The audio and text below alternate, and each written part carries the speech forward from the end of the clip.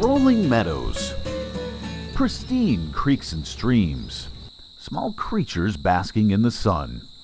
You can find them all in the lowlands of this 72 acre farm, and you will for a long time, despite fast approaching development from the nearby urban center of Milwaukee. Larry Horrig and his family farmed this land for more than 50 years. Farm is a good place for kids to learn how to work and to learn how to live.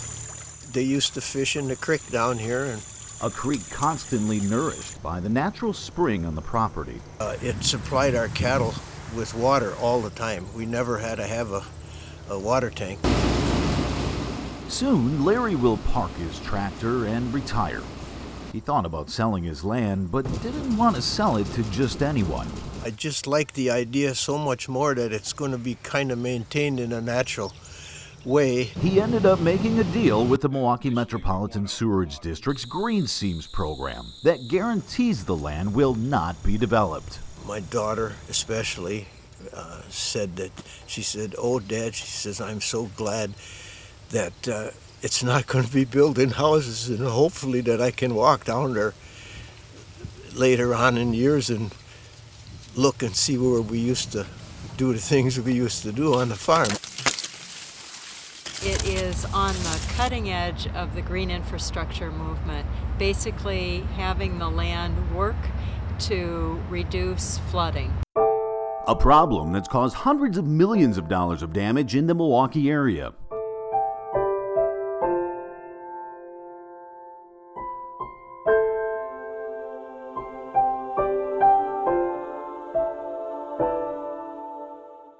The Greenseams is one of those ideal projects that allows you to reduce flooding, but it also allows you to protect the rivers and reduce the uh, pollution that's getting into the rivers. MMSD Executive Director Kevin Shafer launched the Greenseams program to protect water absorbing soils in areas with major growth on the horizon. So we're trying to look at how nature dealt with flooding before mankind came along.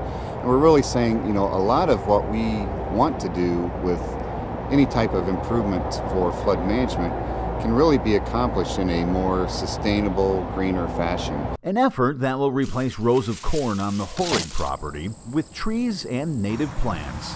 After it's out of agriculture, we'll restore the property to um, either a native prairie vegetation cover or reforest the area. So we're thinking long term, we're restoring it to a cover that is beneficial to hold stormwater on the land. Greenseams purchases properties rich with something called hydric soils. These hydric soils act as a natural sponge to hold rainwater on site. Scoop a handful of soil up.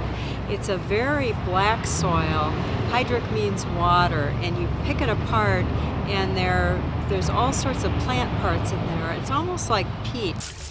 Greenseams is now protecting about 2,000 acres, enough to cover a large section of downtown Milwaukee. And it's just amazing. I mean, to see how much, what the equivalent size of 2,000 acres of open space is versus the very impervious hardscape that we have in the, the downtown area. All Green Seam sales are voluntary and negotiated by the Conservation Fund. The Conservation Fund partners with organizations to protect land and water resources. To date, since 1985, we've protected about 6 million acres of land throughout the United States.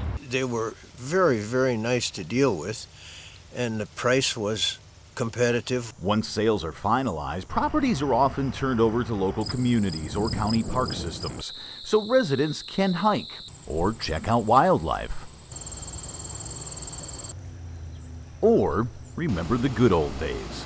and see where they used to work and the way where we baled hay and raised cabbage and you know did all those things.